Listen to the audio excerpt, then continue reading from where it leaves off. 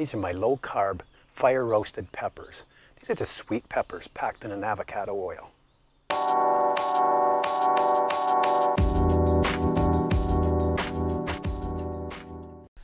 Fire roasted peppers in a healthy oil. This is a very easy recipe. The recipe for these fire roasted peppers in oil is below in the comments section with the ingredients and the method and how to make it. I've preheated my grill to a high and what I want to do is take these peppers, I just wash them, clean them, and I'm going to use sweet peppers and I'm just going to char them and I want to char them really well. It's going to take probably about maybe 10 minutes to, to char them, but you want to have them black.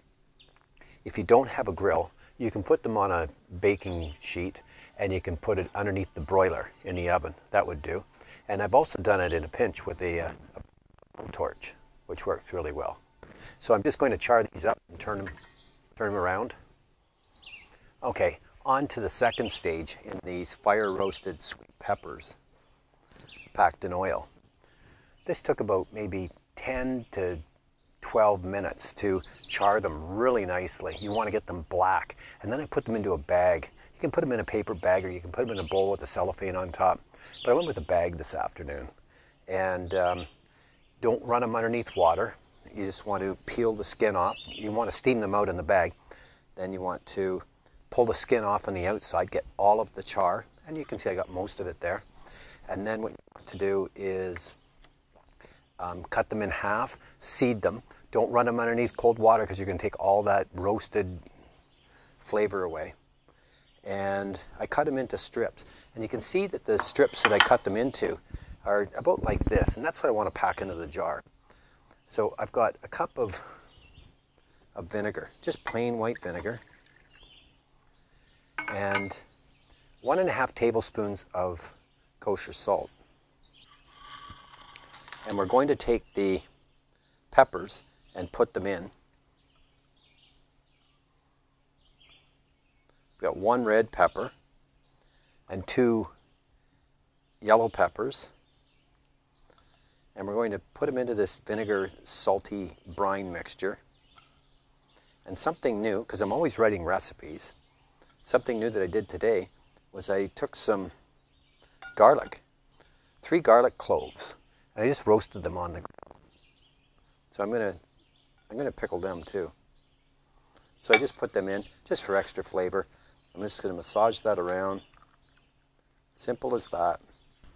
Now I'm going to cover this up. I'm just going to let this sit in the refrigerator for overnight. Uh, just let the flavors get in there and I'll see you tomorrow. Okay, so my roasted red peppers went overnight, uh, soaking in this uh, salt and vinegar brine. They look really good. Smell good.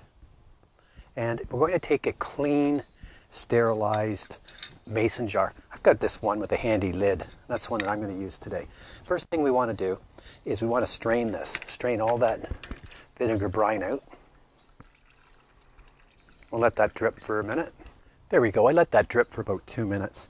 Now we're going to take the peppers, the roasted red peppers, and just put them into the bottom of your mason jar. You can use any size of jar that you like, but these peppers were quite large. I called for a 500 ml jar, and this one's like a like two 500 mils, a liter. This is the perfect size for sausages and burgers, and there we go. I've got everything in there.